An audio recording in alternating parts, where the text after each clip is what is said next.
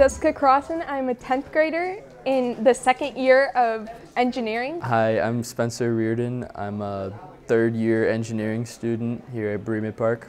This class, it's more hands-on. Like I'm not sitting down doing notes all day, which is pretty cool.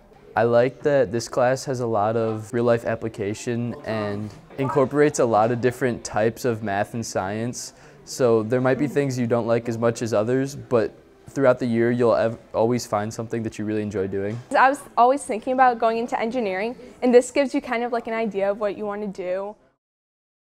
It's let me know that I'd be really interested to be an engineer in the future and it kind of allows me to pick out a specific discipline of engineering that I'm more interested in than, than others.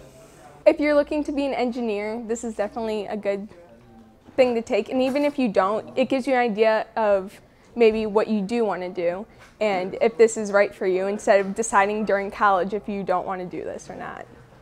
Dr. Mack is a really good teacher. Uh, he's funny and he really lets us have some freedom in the class and he really treats his students with respect. you get a computer credit with it, but it's also like fun and you meet new people.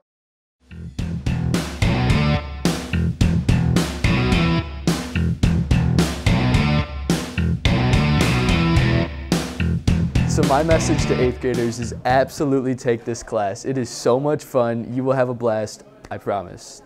Sign up.